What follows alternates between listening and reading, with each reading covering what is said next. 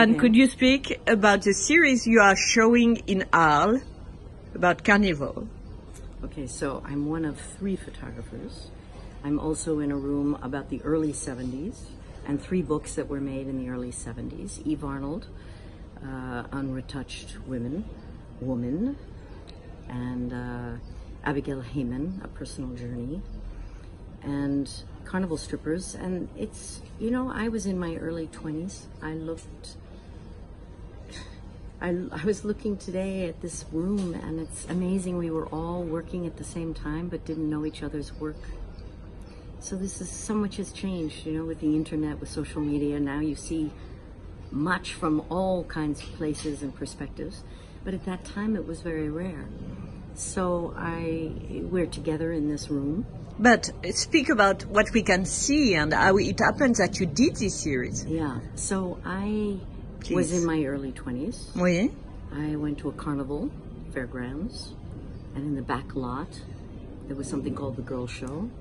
So I wasn't really looking for the strippers per se, but I discovered them, and once I did, I couldn't, I was magnetized. I had to focus on who are they, what were their lives like, and then I went back each summer to continue the project. So it Ah. wasn't all in one.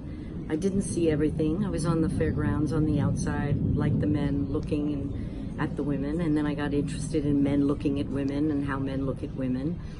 Um, and then the next summer I came back, I was invited into the dressing room, and that, of course, was in a way changed everything because I could be begin to have dialogues with them. And then they opened up the curtain, and I could see behind and what they were doing, what their work was.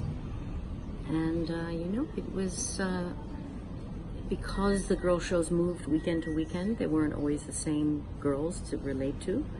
So I would found a few who I connected to very more deeply, let's say. But in, in an unconscious way, what were you trying to find? I don't know if it was an unconscious way. I think consciously I was around these feminist debates about women using their bodies as, as you know, to attract men sexually or sex workers, whether or not they were more liberated than women who had feminist identities. And there were women feminists who were against the sh- these girl shows, thinking they were exploitative of women. So this was in the middle of a of a certain period of the early ah. 70s debate. So it seemed very relevant to hear their perspectives, the women who did the work, how they felt about themselves, how they saw the dynamic. I was trying to visualize that power dynamic. Yes, because they were not speaking, right?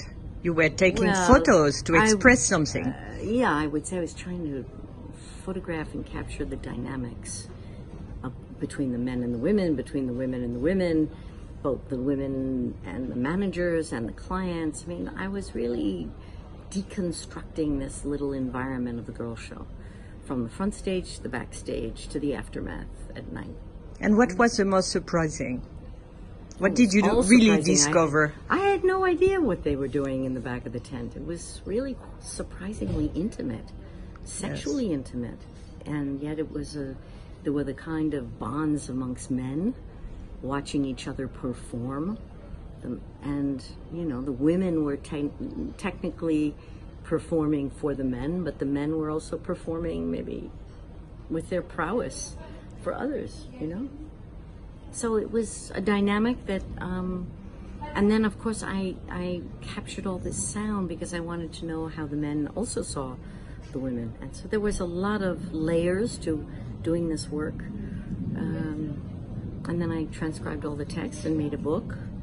And amazingly, that was the work that I showed to Magnum, and that led to a completely different chapter of my life. Ah, So, merci. ça va?